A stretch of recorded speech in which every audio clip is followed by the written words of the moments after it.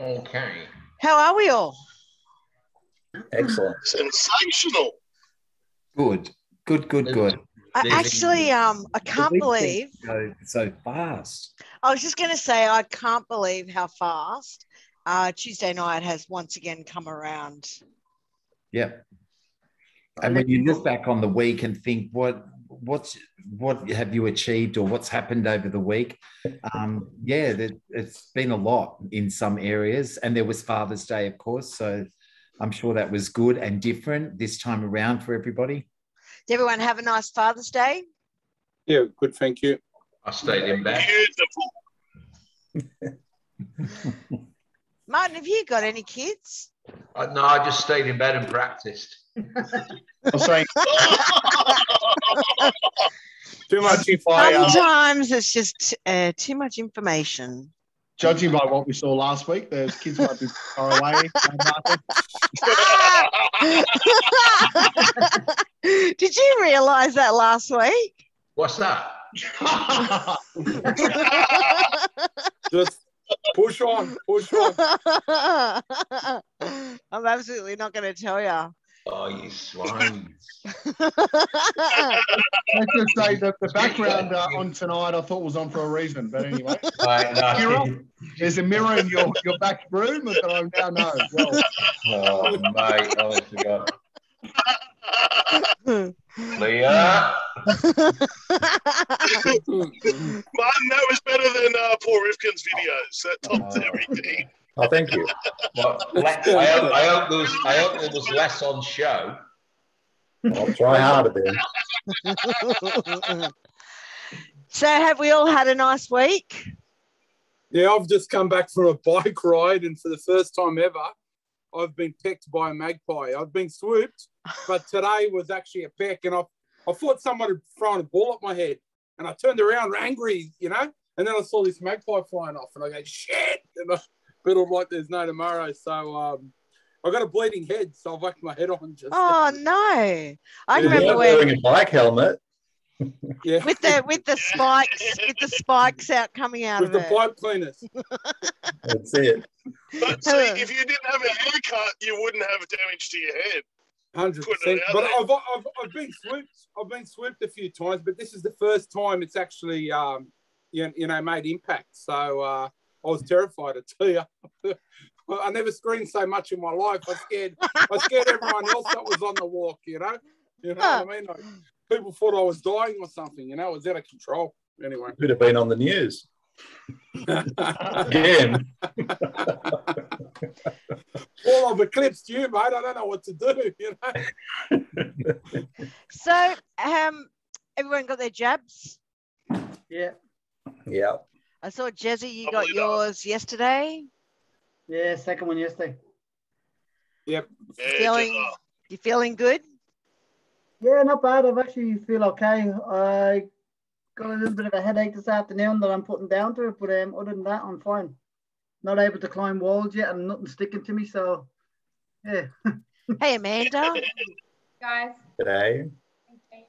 I was there you go. actually feeling a bit. I needed another female presence. So I was like, being it. overtaken by the testosterone.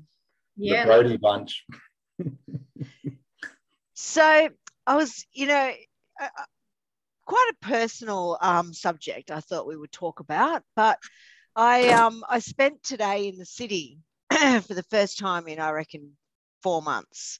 I had a, a doctor's appointment in there, and um, one of the the challenges that I've had over the years is um, varicose veins. And I know that it's a pretty serious condition that a lot of people in our industry suffer from. And I was just wondering if anyone else has had um, a problem with, with varicose veins and if you've actually done anything about it. I'm lucky. So no, none yet. Well, you, that's good. You're, it's really lucky. I was unlucky. I've got really bad varicose veins. That's why I don't wear shorts anymore. Thank God for that. And I haven't done anything about it, especially I've got one massive one running down my leg. Um, don't be dirty, people, but it's just a really big vein. and um, it's, it's, yeah, I haven't done anything. They don't hurt, but I do have really bad varicose veins. Yeah, I've had pain now for years with varicose veins, and um, I finally did something about it about 18 months ago. I started having treatment, and I didn't want to go into hospital and have the the stripping done. I know that a lot of people have had that done, but I actually have the um, injections, and I go in every six months and um, and just keep touching it up with the surface veins. But it's been fantastic, and I have no pain now at all. They've you can barely see them. So it's um it's just been a great. I just thought I'd put it out there as a as an awareness piece because I do know that um, it is something that's that's quite common in our industry, given that everyone's on their legs for so long. Yeah, I've It's been, from concrete yeah. too. Sorry, Jerry. You go. Yeah. I was just gonna say I've been lucky enough, touch wood so far, not to get them, but um, I've had a couple of staff members that had them pretty bad, so caused them a lot of pain and a lot of uh, discomfort. So, yeah, Mm. It's good to know that there's some pretty um, evasive options available. Um, so if anyone is watching this and they would like more information about how to get some treatment, and it's re- it's not real, it's not that expensive to be honest. Like it's covered by Medicare, and you just pay a gap. But it's um it's just been life changing. I have to say, it's been one of those things that I'm really really happy about. Fantastic.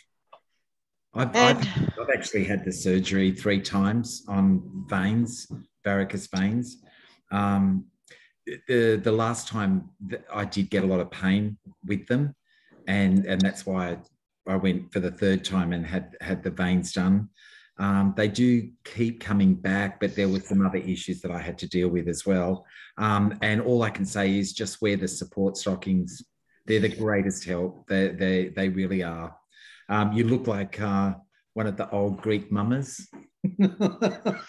but you can get the flesh colored ones, the the black knee high ones. Yeah, just wear the support stockings. They're the best best best remedy.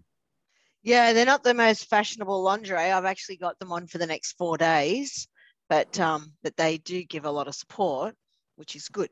So anyway, I just thought we would I would put that out there and share something a little bit personal, but something that has really been a bit life changing. I have to say over the um the last eighteen months. So it looks like we may be having a spring carnival after all, Jezza. yeah. I I'm still not sure what context the focus and our exemptions are around Everest and Golden Eagle, the two big days, but um, what they look like, we're not sure. We've we've submitted about five different plans, you know, one to two, one to four, you know, owners and trainers, owners, trainers and members, corporates. So there's there's lots moving around.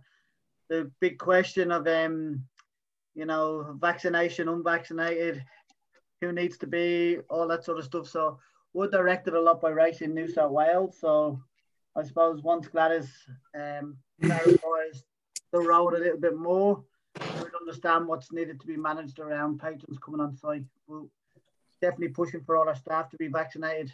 Not yet mandated, but once again, I think Racing New South Wales will have a big influence on uh, where the company goes with that. Yeah, it's pretty exciting. And um, Amanda's just shared October 14 is Sydney's Freedom Day as New South Wales lockdowns um, look to start easing restrictions. That's pretty exciting. That's when we hit the seventy percent rate. Yeah.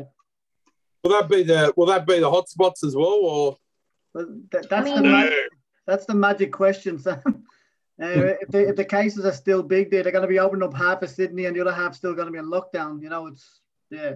I just think it's promising that there's been a date. Like we've all been throwing dates in the air and we don't know anything beyond, you know, my kindergarten kid going back to school on the 25th of October, bring it on. But this is the first time that I've seen a date. Um, last night on the news, there was um, like they'd said that, you know, things will reopen at 70%, etc. Um, but this is the first time I've seen a date. So obviously I'm hanging on to, I'm hanging on to that date as a, as a goal for reopening. well, if Yeah, they don't really? unlock me, if they don't unlock me, I've got a house in Ashfield that's vacant. I'm moving the family there. No lies. I'll get us all vaccinated and all that, and I'll just move them there. Can't do it anymore. You know what I mean? That's my that's that's what I'll do. You know, I'll just move that. I'll just move to the inner inner, inner west. I know, think- lock the up and just get out of it. A lot of people wanted to change their address on Services New South Wales, so they've stopped that feature on, on the website. But I'm, I'm fully with Amanda. I think, uh, you know, it's not fully confirmed yet, but we've got a date set in stone. Uh, people have been going to get vaccinated. We need a reward rather than going to a picnic with buddy five people or something at a park. I mean, uh, hospitality needs a, a sign out of this, and a lot of us are doing the right thing by getting vaccinated. And and uh, you know, hospitality. You know, it's another five weeks away. It's still a tough time, and many won't survive that. So. Uh, at least um, you know there's some promise at the end. And Amanda, look forward to coming to your place uh, on the 16th. Let me know when you open up booking. Yes, I can't wait to get there myself. It's amazing the shift in attitude that with, with people just to have a date. yeah, exactly. But It's it's yeah, it's it's gone from a negative to a, to a positive. Like when you're talking to people, it's good. So But I mean, we have had dates before, right? We've had the 28th Yeah. of August and stuff. So I guess, you know, you can't, we can't literally put all our eggs in the 14th basket, but I reckon we can put half. yeah, We can put half our eggs in that basket and keep half in the air. but and, I, it- I, and I it's think four it- weeks away. So it's while while the 14th of, of October is great, it's still four weeks away. And there's there's um, enough room there for people to go out and do the right thing and see see what's actually happening between now and then. So I think it's Keep- great. I think it's good. Keep half the eggs in the air and half half the eggs in the southwest. Locked in. yeah. Yeah. I I am serious. I swear, I, I will get vaccinated the whole family or move into Ashfield. I don't mm. care. You know, you, you get the tests and everything. I'm out of it. You know, I'm not. If, if they open up the whole of the city and we're still stuck in lockdown, that's it. I'm done.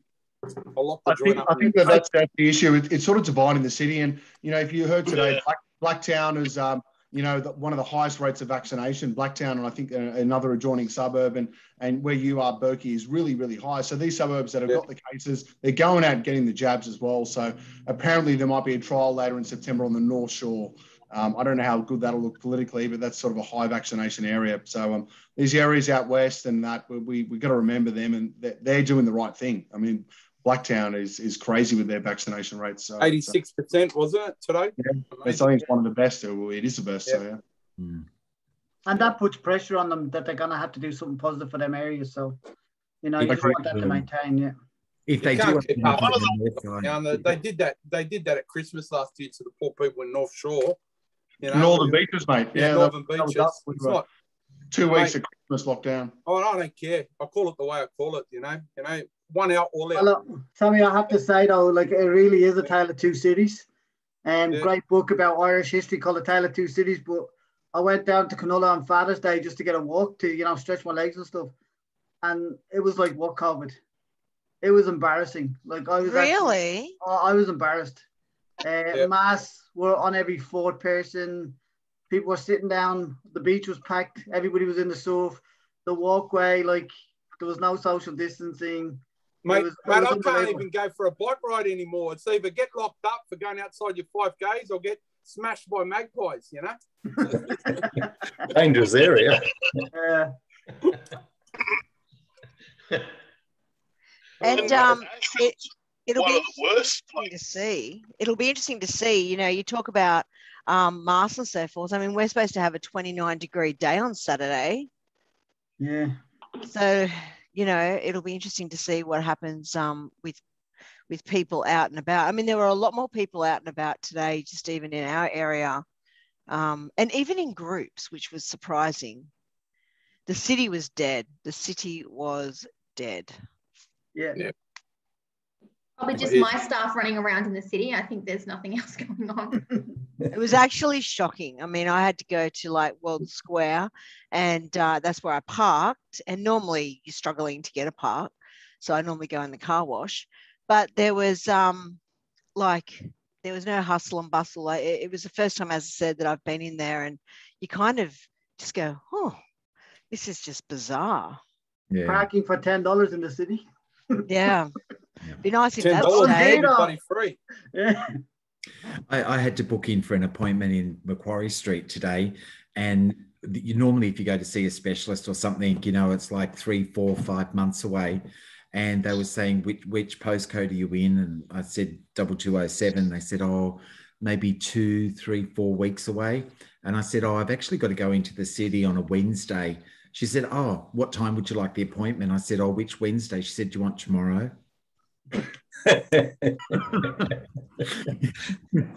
yeah. It just so- goes to show that everybody's feeling it, right? Even the like specialists that you would never really consider. yeah, yeah. So no one's in in the city. No one's going because I suppose a lot of people going to specialists in the city would be working in the city, and you know those appointments would be booked out. But I could get in tomorrow, tomorrow afternoon, or next Wednesday. I could have any time I wanted. Wow. Mm. Well, Unbelievable. So, changing the conversation slightly, we're looking at, you know, looking at that recovery um, phase and, and the reopening. I had a, um, I had an interesting um, situation today where I went through McDonald's drive-through, right? And I don't mind calling it out. And the girl that served me on the drive-through, as I collected my stuff, she goes, "Oh, you've got, you know, the frozen Coke. Thanks, babe." I'm like, and I'm just like, really? Like, this is their head office. And I- was just kind of like, what? You just called me babe? I thought, how do you guys feel about it? And where do you see customer service going in the future? Well, On the flip side, I ring Adam, and nine times out of ten, I'll catch him in the drive-through at Macca's, right? and, and hey, there's they nothing call wrong him with that. Chef Adam. They call him Chef Adam, right? That's crap. The ones at Penrith, Chef Adam. You know, is that right, Yeah, Adam? Sam, Sam, learn some respect and learn like young people do. No, Look, hey, just just to be fair on that one, Sam, the McDonald's I go to is the only one on the way, and everyone knows me because I've been going there for a long time, and uh, I have the same order. I'm pretty boring, but yes, I do go to that one. But Flake in cone and flake cone and the and the fourth sweetener in the cappuccino. Hey, I don't give your secrets out. Do not give my secrets out, okay? And I can tell you some secrets that you have, like the shoe fetish you have. Just I saying. must, Hey, Adam, that's not a, that's not a secret. Turkey's skin fetish is No, not a that's secret. true. That's true. It's not a secret. I must say, Like- like- like has you got- said, there's, there's more shoes in Nighttown behind me. Ah, mate, Where's the volleys today? I must say, me, and- me and Berkey have hit up a uh, a, a, a few McDonald's uh, doing some master classes traveling around Australia. But my next question is to Adam Moore. Adam, what's the order? I, I want to know. What's what's your go to?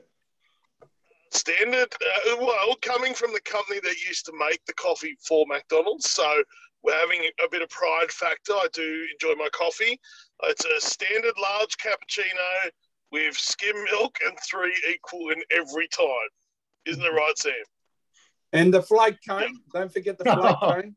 Can you, Sam, I'm on a diet at the moment. Can you shut up and not talk about my secrets? Oh, Only one oh. flake cone. really.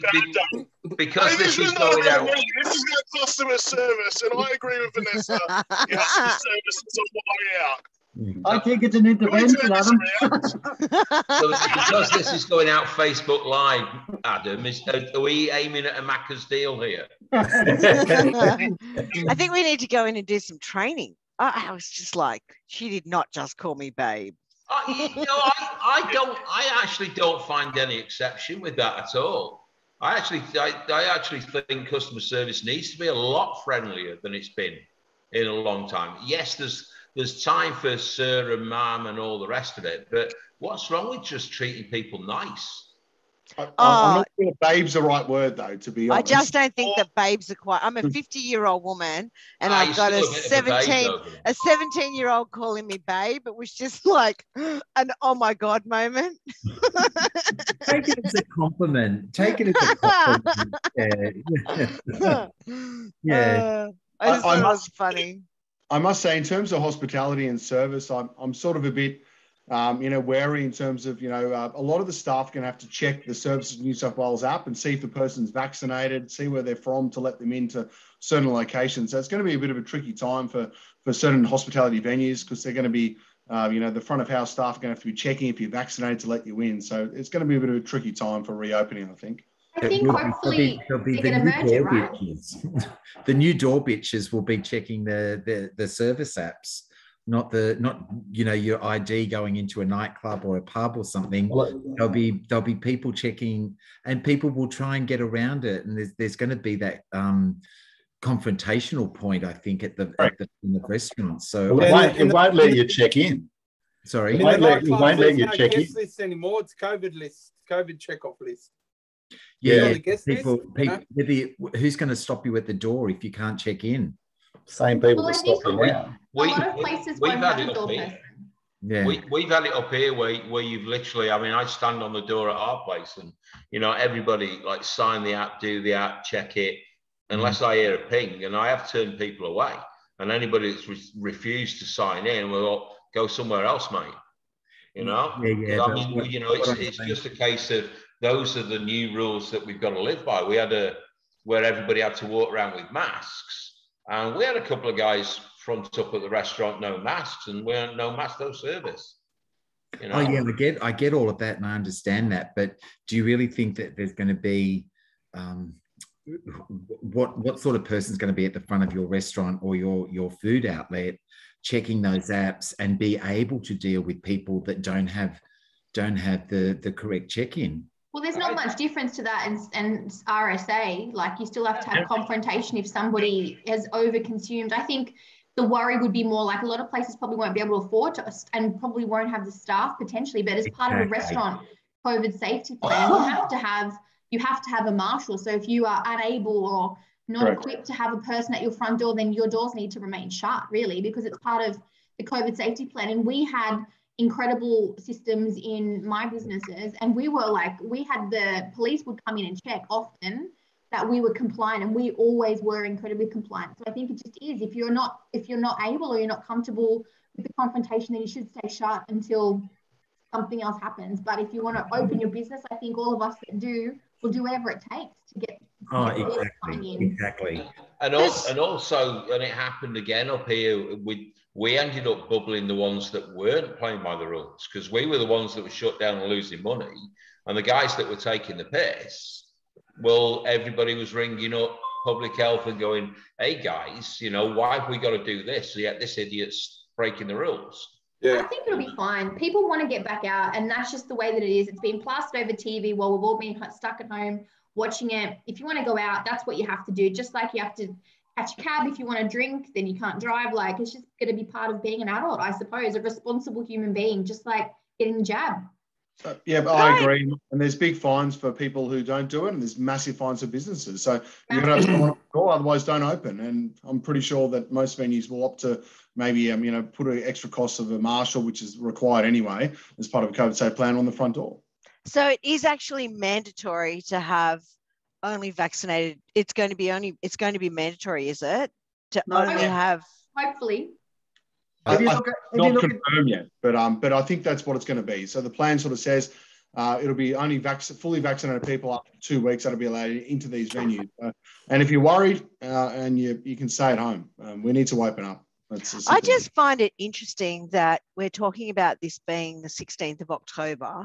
Then we have, and I, Paul, I don't know what it's like where you are or Martin where you are, but my daughter's on the Central Coast. She works at Services New South Wales and has not been able to get a vaccination um, because there has been zero Pfizer available. So I, I don't know how eh, is it like that up where you are, Paul, where people are struggling to actually get the vaccination? it's like No, that it's- everywhere to jump It's in. quite, it's quite high up here. you The can vac- get vaccination rate. like my sorry to jump in one of my employ like one of our staff in melbourne he had a booking and i challenged him to find a sooner one before this weekend and he lost his booking in the process but if you i think if you really and like i don't want to sound awful but if you're really really trying to get a vax then you'll be able to find one like i found two places today that have a walk-in clinic that you know you, can- you can go to um, like campbelltown catholic club are doing it and they're popping up with pfizer dates often um, I think if you really, Syd- really are yeah. invested, you can find it. Sydney's Sydney is not a problem, and I've actually got them coming down and, do, and going to Unilever, which is just an amazing hub. But there's people in Newcastle that I know, and and as I said, and my daughter who ended up getting the AstraZeneca, so she she's fine now. But there's friends of mine that live further north that haven't been able to get the Pfizer at all that are coming to Sydney to get it. But you can't get it here, Vanessa. I only got it because I lied. I my first booking is not till next Tuesday because of the eligibility, and I booked the next Tuesdays last in June. Yeah, this is this is fifty year olds, and I think that that's a bit easier than yeah. the younger age group. But yeah, so they're coming to Sydney, and thank God for Unilever um, and being able to get an appointment because these are frontline workers that haven't been able to get Pfizer. It's terrible. I lied as well and went to Wollongong.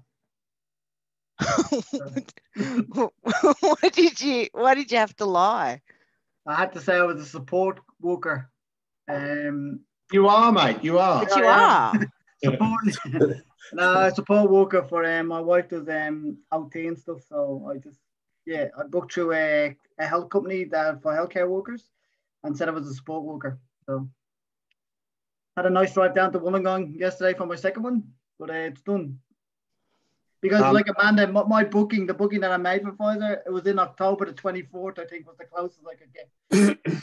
so I've cancelled that yesterday. So um, but, but, but on a serious point, if anyone in hospitality or any essential worker on this call or uh, anyone, you know, Amanda, or any of your staff, um, Vanessa, please forward the email to them. You can walk up to Unilever at North Rocks. Uh, it's near Parramatta. Come and get your Pfizer. You can literally walk in. We prefer you book, um, but come in. We've got another five weeks or four weeks of Pfizer available there for any essential worker. Amazing. And, and there's so many like there's so many appointments available. I went on there myself because I just wanted to check it out to see that I could give these people the right information. And um, like you you'd get it today if you had if they had wanted to drive down today. But anyway, they've booked in. So um, good work, Unilever. It's I think it's just incredible what you guys have done.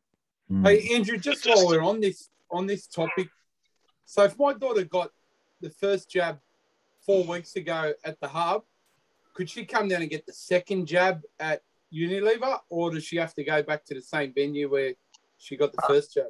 Mate, if you've had your first Pfizer, you can come and get your second Pfizer at Unilever and you should be guided by your doctors. But I think it's three weeks in between jabs. 21 days. 21 days there, Amanda. I might book her in for the second one and pick up a Magnum while I'm there. Mate, no, you get a whole box of ice creams, mate, and some sanitizers. So it's not good. Well, what the hell? it's just my bloody ice cream. Ah. kid, guys. Sam will go out there with the three kids in tow and the dog. Vanessa, just just to put a serious note on it too. You know, I know we're talking about Pfizer and, and that, and I was privileged at Pfizer.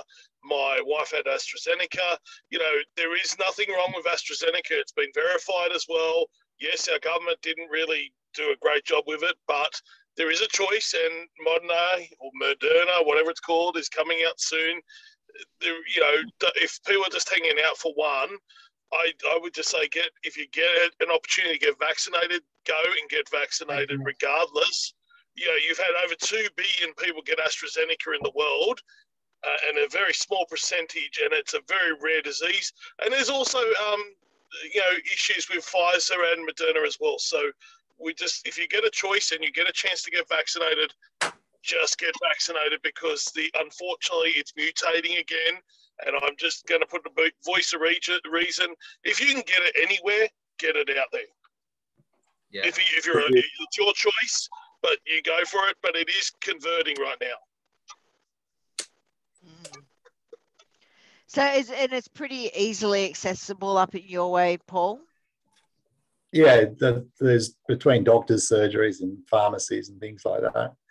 But you know, they're still in lockdown up here. But who knows? Might change on Friday. Everyone's crossing their fingers. Yeah, well, yeah. And, and, the, and the, the, the, rates are quite high up here. And the, the same up here, Vanessa. I mean, if you're in the if you're in the in the city, as it were, or in in the bigger conurbations, then it's not a problem at all. The biggest problem we've got is the remoteness of summer community. Mm. You know, to get those um, jabbed, but uh, it like general day to day workers, not a problem at all. You know, but if, if you're if you're a million miles away in Whoop Whoop, then yes, it's a little bit more difficult. but it's not that difficult.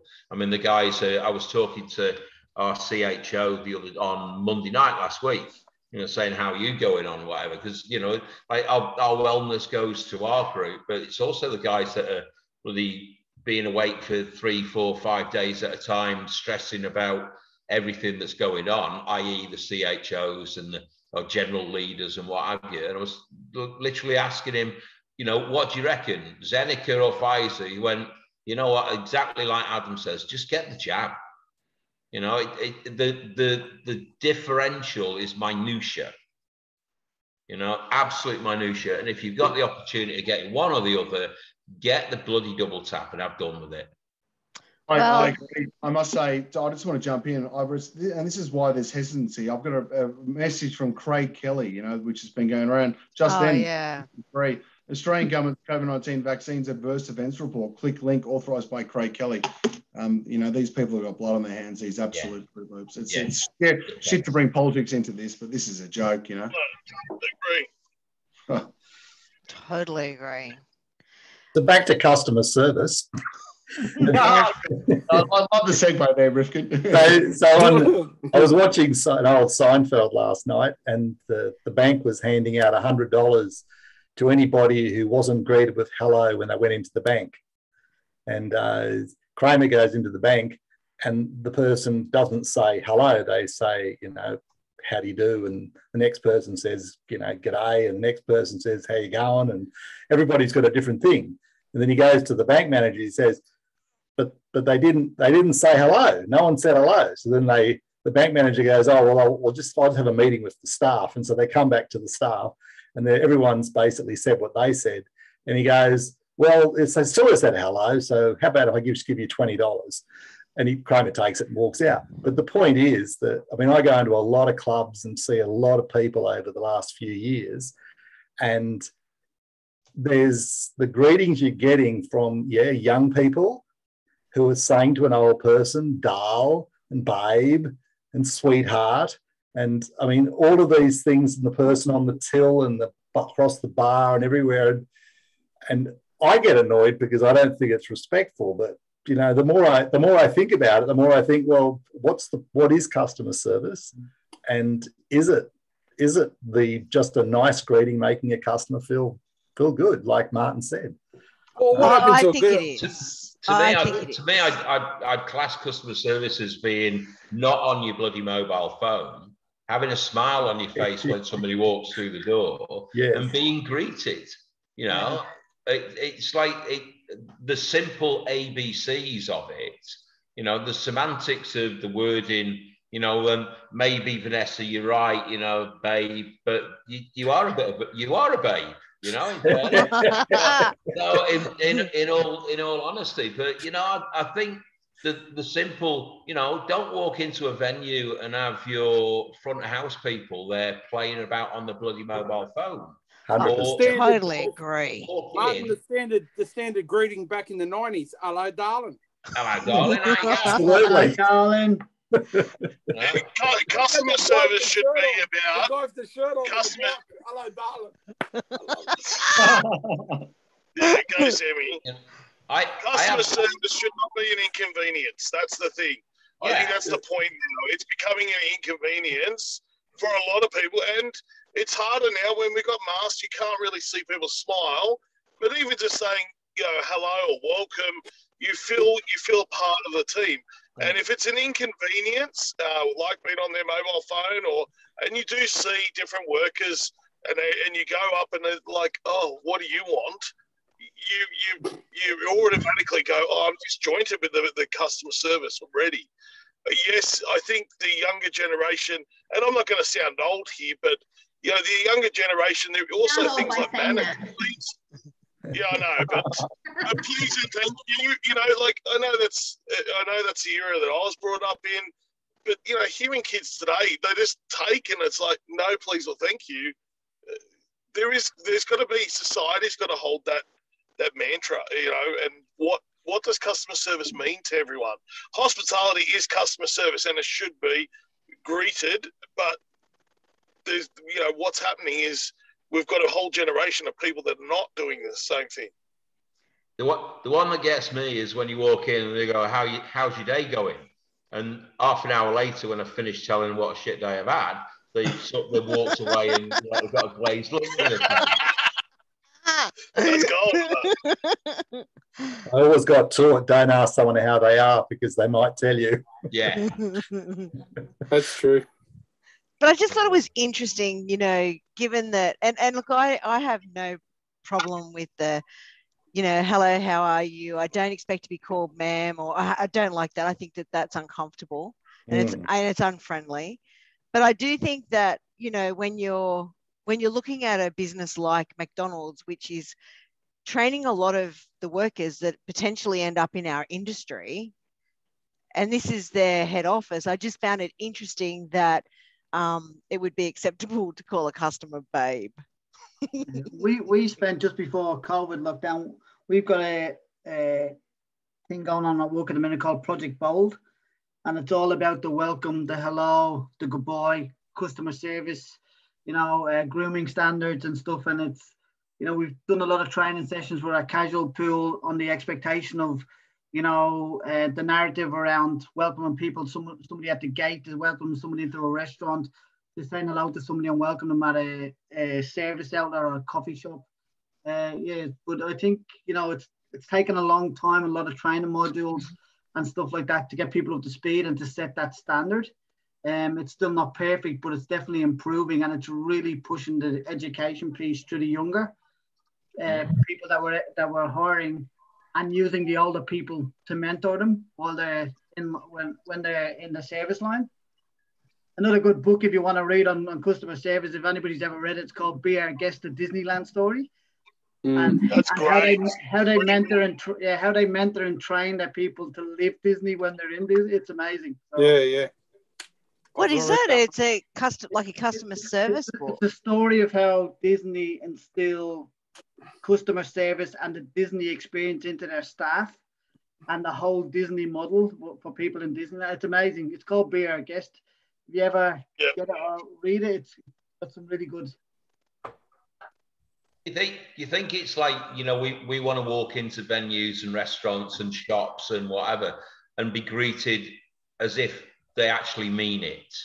You know, I mean, I think that that's the main criteria, isn't it? You just want to if somebody's going to ask you a question, ask it ask it like it's meant, not that it's a, a recited. Okay, this is number one. On it's like ringing ringing up and getting one of these um, international call centers, and there's like item one, item two, item three, item four. You don't want this robotic thing. You, you want to deal with humans, Mm. you know?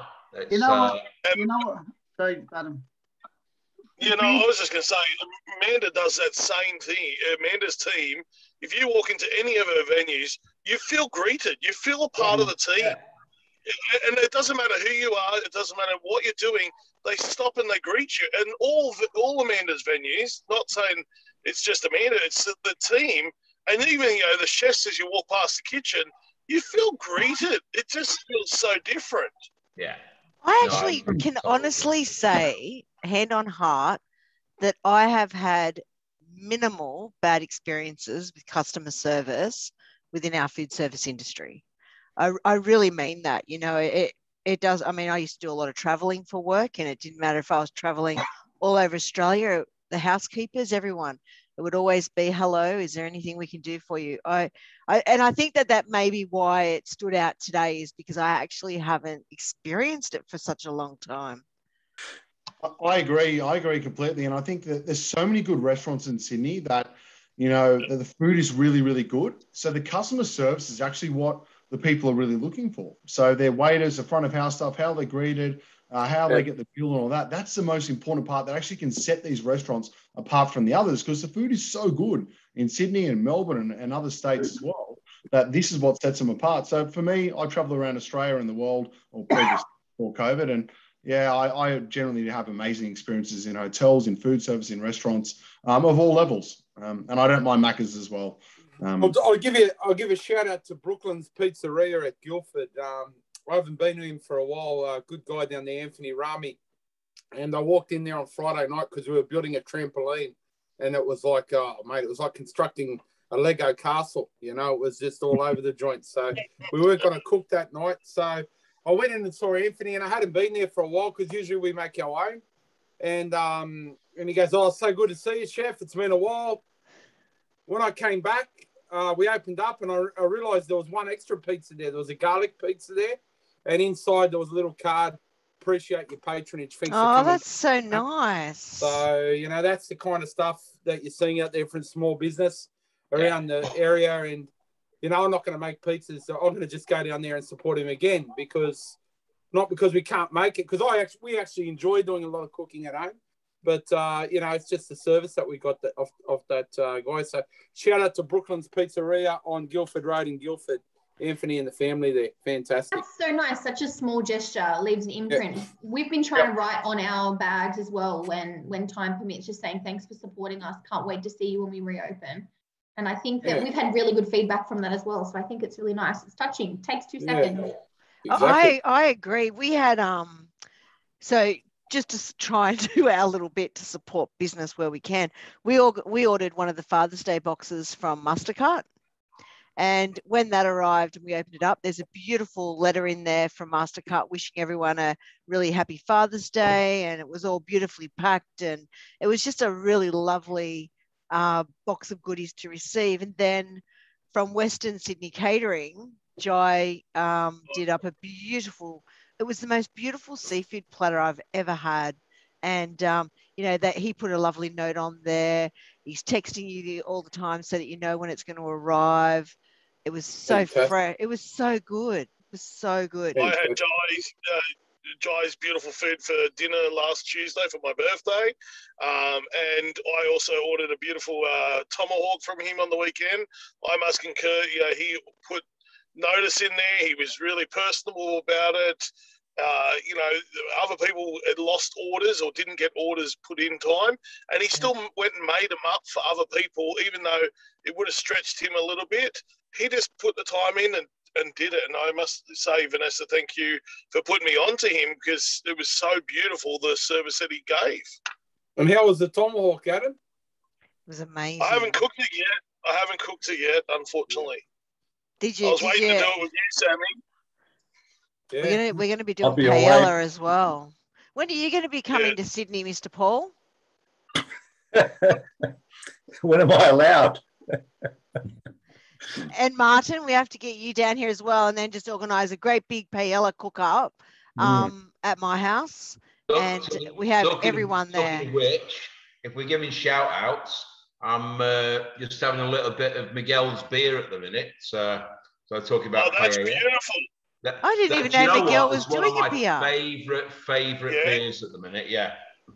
It's a beautiful beer. It's absolutely so stunning, and uh, he's getting. He's got a few out. He's got another one coming out very shortly as well. Ness.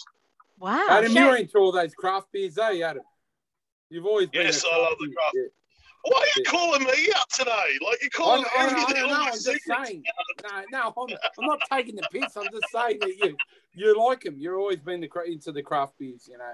No, I Like the the- craft beer. The I'll tell you what. beers, I'll tell you what, kind Ness. When you when you do open up, and I get an invite down there because we were, I was supposed to be taking the the child bride down to Cairns in middle of October because we've got a bit of an awards do to go to down there, uh, and then she's had to work, so she, holiday's knackered now. So if the world's open up again and there's an invite down there, I will quite happily join you at Kyoto or Indu or Mexico or We'll just do even- all of them. We'll just do even- all of them. around- well, Yeah, We'll have a let's on crawl. We'll We'll have just yeah, we'll do a progressive dinner. Actually, did you Hey. see the Facebook memory? Did you see that, Adam? I did, yeah, yeah, I did. Yes, today. And I was Beautiful actually going to photo of us. repost the uh, cocktail because it looks so damn good. But um, yeah, no, and and you're more than welcome to come and stay at my place, Martin. It's uh, my door's always open.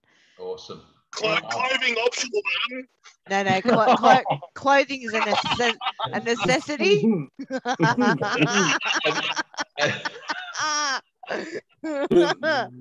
Oh God. that's You a know, non. it's- That's a non-negotiable. Do you know you you were saying how how warm you were going to have it there at 29 degrees? Like yes.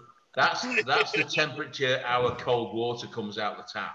I, I was just going to say, Martin, when you come, just put your keys in the bowl, and there's a pineapple upside down at the front as well. Uh, I'll let- I'm going to go on mute for a bit. so we've got Martin, um, Martin, Martin will come down when Sexpo's on. Oh, you are, You are honestly. Oh, doesn't That'll sex, while. doesn't Sexpo normally coincide with the food shows? Like, doesn't it end one day and the food show starts the next?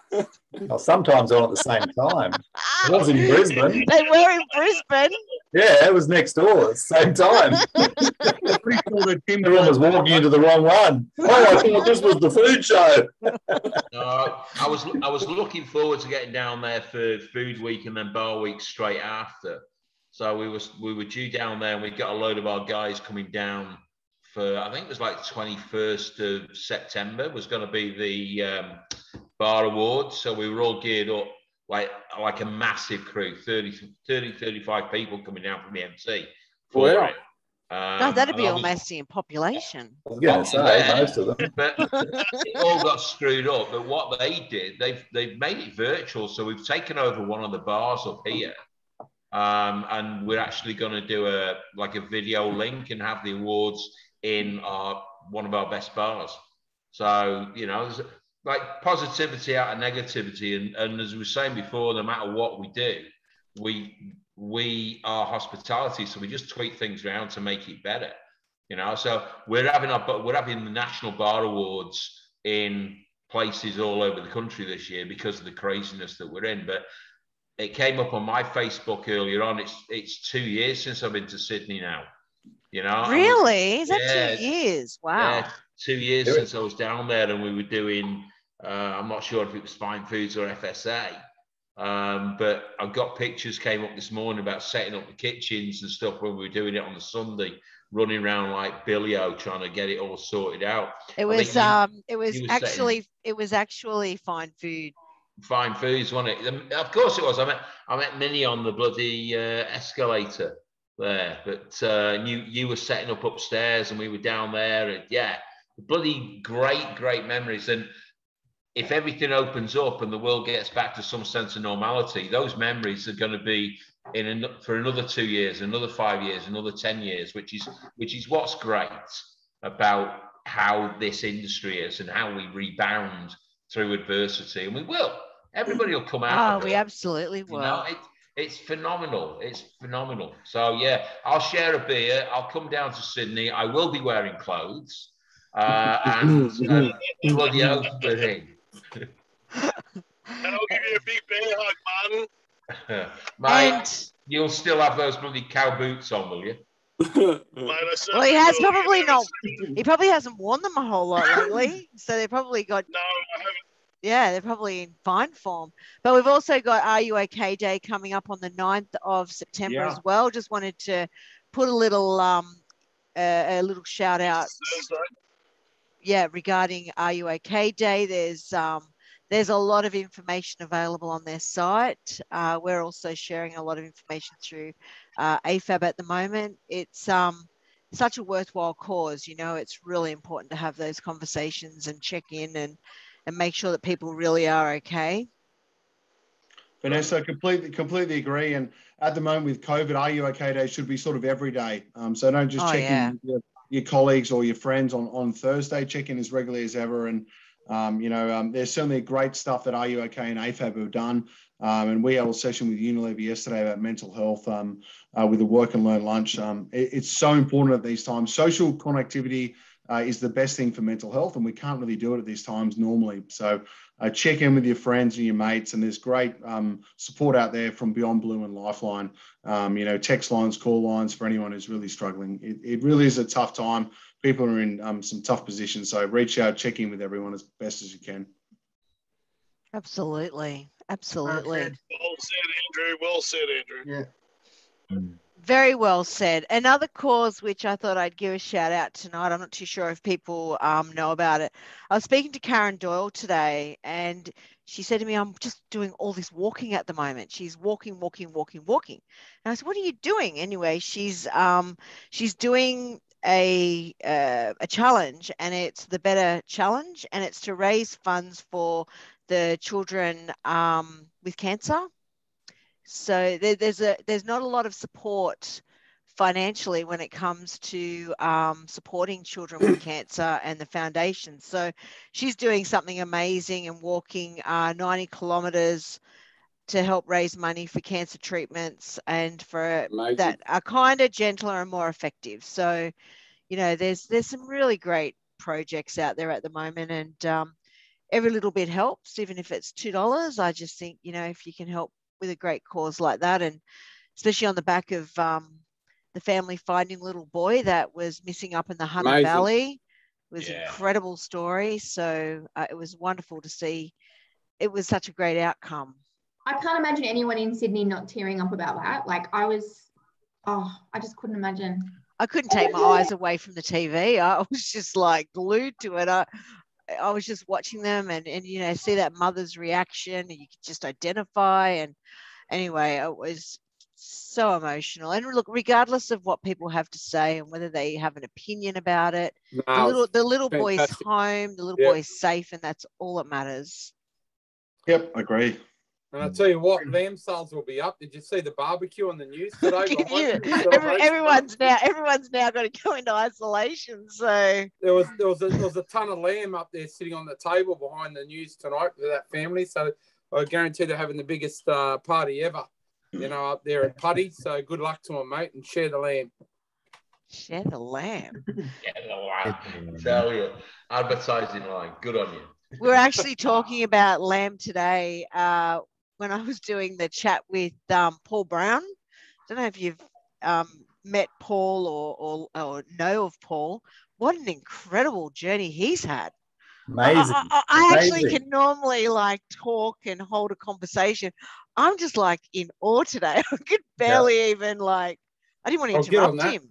It was so good. I'll listen to that tonight. He was the um the the culinary director, if you like, for the His Majesty King Bahrain. Uh, over, yeah, like yeah. incredible. You know, and he he would um, you know, he'd obviously they didn't have a budget when it came to what the they cooked for the for the king, but lamb Sam, they used to get 60 lamb in just for well, one dinner. Well, Steve Stephen Lee was good too the other day. I enjoyed that on Friday. Yeah, he's a great guy just yeah, had yeah, some really yeah, great, great people. I mean, Josh was fantastic yesterday. Gary was, Johnson a few weeks ago. Gary's incredible. It's been um, Eddie Eddie tomorrow. Eddie Eddie Kofi. Eddie Kofi tomorrow, oh, which will be awesome. Granddad. Yeah. Yeah, that'd be good. That'd you know, he's um, you know, what experience has he never had? Like he's worked and he's done everything. And he's such a nice person, you know. It'll be mm. nice to catch up with him and uh, hear what's been going on in his world. And then, um, yeah. you know, there's it, it, the gifts will just keep on giving, which is great. Yeah. Got some great people coming up. Yeah, yeah, yeah. I've, I've enjoyed it. I, I can't get to all of them, but I try to listen to them um, in the afternoons. And I must say, I haven't haven't come across a bad one yet. So, well done, Vanessa. You know what I mean? It's it's you're a very good interviewer too. I think I said it two weeks ago. You know, it's you've got to be able to ask the questions to get the, the results back, and, and you're very good at doing that. So, yeah, oh, yeah, hats off to you. I'm just a sticky beak, like I said. I like to know everyone else's business. no, ah, it's very good, very good. I've, I've, I've tuned into a couple of them up here, and you know we haven't got the, you know, I, I mean we're, we're all working and doing, so we're not actually locked in or anything. But I've made a point of tuning into some of them. Yeah, they've been, they've been really cool, Vanessa. You've done a great job there. Thanks. Uh, well, been, so I make a point to listen to Paul's one because Paul Brown was Paul's was planet. Awesome. He was off the planet. His story of from apprentice to where he is today, and his approach to everything. It's it's like it's it's like it just you, you just hold your breath and go like, really? Yeah. Uh, it's It was Yeah. like that, wasn't it? I, I It couldn't was. I was believe. just- I was amazed. Breathtaking. It was could not abs- I couldn't- I believe couldn't the stop experience. Oh, I was the same. I was just like, oh my goodness, I can't even interrupt you. I just am enjoying this way too much. Yeah. And um, you've all seen the whole ABBA rebirth. Pretty How exciting. good is that? Has It somebody is run out of pretty money? exciting. I got a quick question. Can they still sing? Well, I don't know, yes, but I'll. I'll, I'll be able to tell you when I go over there and watch them in June next year. Where do you watch it? Where, where are they playing? They're cre- they're building their whole new arena. Yeah. So in London. we just booked our tickets, and Are you then going we, to London, are you? yes, How good's that? in uh, June next year we bought tickets, and then we're going to go to Ireland and Scotland and Paris. That's a great time of the year to be there too. Great time of the year. So excited! Uh, yeah. Well, it Cannot either wait. is or it isn't. June is either really, really great or it's very, very wet. Yeah, yeah. Oh, I- I've been lucky. Every time I've been there in June, it's been sweltering. Yeah, Mate, you yeah. go to Scotland in winter, uh, in summer, sorry, and it's like our winter over here. So you- Scotland, no matter what, it's going to be bloody cold. I don't care. I know. I, It's exciting. I am so excited. You would love it. You would love it. It's just Yeah. nice to have something to look forward to. And and I, the one place that I've always dreamt of um, visiting is Ireland. And Gary's got his Fantastic. um, ABBA scarf. Yeah, so the one place I've always visited, always just dreamt about visiting is Ireland. And um, we've been watching YouTube, um, tu- you know, just tours and, and different things people are doing. And I'll be in touch with you, Jezza, to give me I'll some hook you up, don't worry. and Martin and Amanda. uh, You've all been all over Europe, Whereabouts anyway. in You haven't Scotland been? huh? Did you say you haven't been? I've never been, never been to Europe. I Really? love it. I love it. Wow. Hey, I've, I, you know, people say to me, "Did you have you ever?" And I was a mum, and I just worked. Like we, you know, I used to take the kids away on holidays, but I never got the opportunity to travel. You'll love it. gee- Geez, you'll absolutely adore it. If you've never been over there, you'll adore it. Depending on where you go, but uh, yeah. Yeah, we have no plans, Jezza. We're going to book our accommodation in London, but other than that, we're just going to um, get a car. We're going to get the train to Paris, but Yeah, we're done going that. to um, Amazing. be incredible, and uh, Yeah. we're just going to get a car and uh, Eurostar. drive wherever we want to go. Yeah. Trains are better. I can take this offline with you, Vanessa, and tell you some easy options. Cars are a bit of a pain. You Go to Disneyland, Yeah. Paris. Yeah. I But can help you. I can help spend your money on activities and places to stay and things to do. I will help you plan. So Oh, you've you got- can just write out my itinerary for me. You've got Amanda Fuller, travel organizer. Yeah, I can. I'll Well, I What think you going between- Vanessa? Biggles, What dates are you going over? we're going on the 18th of May. You'll be able to go to see the trooping of the colour if you're Uh, keen. well, we actually have um, put that down after you recommended that the other night. So So, yes, we're definitely going to do that. We But could be we're back going. there We're for going work. for a month. We're going to be going for a month. I'll Yeah. look I'll after back your there for Irish work, leg. Don't know. worry. Hey, I We said I'll look after your Irish leg. thanks. Sorry, sorry, Drew. Sorry, Sam, go ahead. And I really could be- would we- like. We could be back there for work. Get you to a, a an Australian function in Australia House.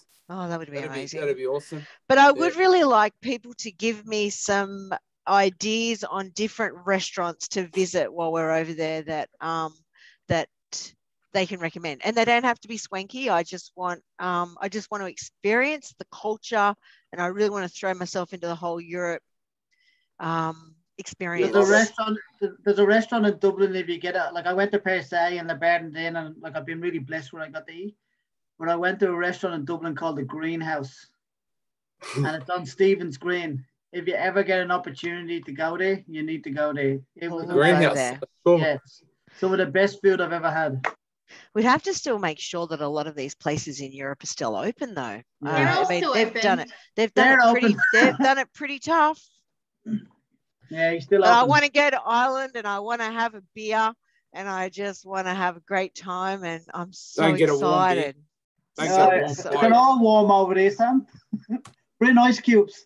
There's no warm beer anymore. I never had a warm beer. Uh, I, that's such a misnomer, isn't it? It's like everybody slags us off because we're pom, right? You're gonna go to the fat But duck? yeah, That's such bull. Nah, probably not. Ray. I'll give you some great restaurants. I will help you plan. You can go to the you can go to the pie room in the Rosewood Hotel. They got like a it's the amazing pies that they make in this hotel. Oh, And, really? and then there's a little there's like a little glass hatch which is out of the pie room. And some of it's some of the best pies you can ever get anywhere in the world. Amazing stuff. Wow. John Preston's restaurant over in London's getting hit- rave reviews as well. Pacific, so.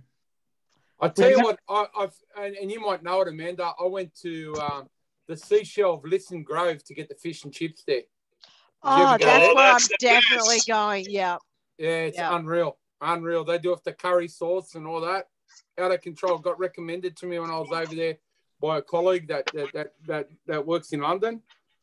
I think all the fish and chip shops are only frequented by like travelers. I don't Travelers. I don't ever remember going to a I mean I get some chips occasionally, but I could count on one hand the amount of fish and chips I had, except for in my restaurants. That's another warm beer fad thing, I think.